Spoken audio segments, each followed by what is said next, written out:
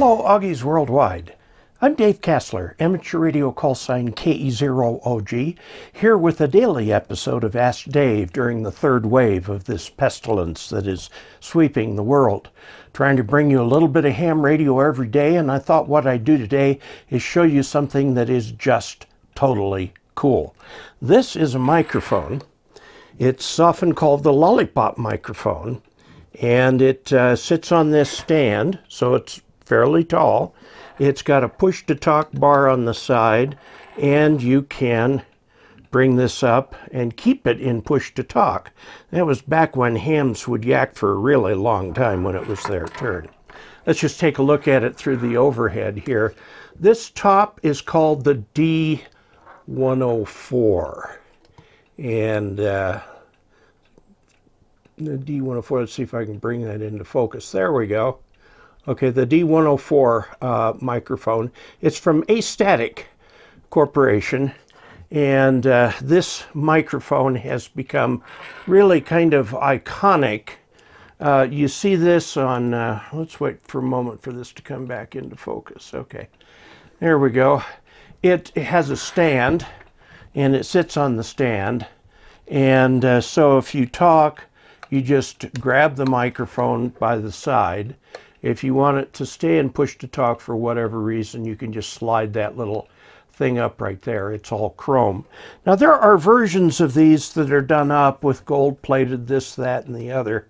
Um, this is just a very ordinary one. Um, when I got my general license and went out to buy my radio, this was the mic I wanted and I couldn't get it. Uh, I had to get the so-called bullet head for this because they had run out of these. But uh, this is uh, a real corded mic. Uh, and the mic plug that is on here is for an old Yaesu, a Yaesu FT um, 101 Bravo. I'll show you what radio that is. I've got it right here. It's this one up here. That's the FT 101 Bravo. Now, one thing that's interesting about these old radios is that they came with neither a microphone nor a speaker. So you had to add those two things. Hence, people like Astatic who made microphones.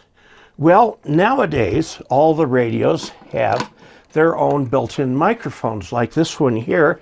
This is the ICOM microphone for the uh, IC um, 7300. Okay, it's not nearly as fancy, but it is a microphone. Whereas if you got that old Yaesu, I got a Yaesu FT201, which I no longer have, um, you had to get a microphone for it. And you had no choice uh, but to get a microphone. So companies like Astatic um, made these mics. Now this mic, it's a high impedance crystal mic and everything today is low impedance. So this has in the base a little amplifier and there is a volume control right there for it. There's a 9 volt battery in here and that is only turned on when you press push to talk. So it's off all the rest of the time so that the battery lasts a long time. And you'll note the the uh, spring around here to keep from breaking that cord. That was back when they they really made things sturdy back then, yeah. Um, so there you go.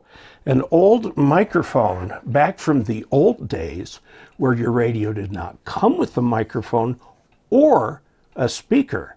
It was a while before uh, radios started coming with speakers and microphones. And finally, the uh, I think the Japanese made that transition first but the FT101E, which was uh, the FT101 Bravo, the FT101 series were the first Japanese transceivers to really make a dent in the American market. And they didn't come with microphones or speakers either, as did none or very little of the American gear. Now, the American gear, uh, some of the, the uh, ham radio only receivers didn't come with a speaker, but the general band receivers uh, did.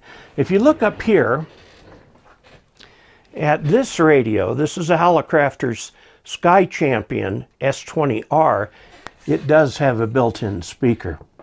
So there you go, just a little bit of a glimpse of yesterday and what ham radio was like. Uh, this microphone is in perfect working condition. I have used it with the FT101 Bravo, which is also in perfect working condition, and uh, are amazing radios back from the 1970s. By the way, I got this one on eBay. I had no real idea what the condition was uh, bought it, and when I got it, I took it thoroughly apart, looked at everything, and was just pleased as punch at what a great piece of equipment I had picked up. So there you go. Thank you so much for watching. Please remember to tune in to the Thursday evening at 7 p.m. Mountain Time for the live stream. And I'll try and have a video every day for you as long as this third, third wave lasts. Until we next meet, 73.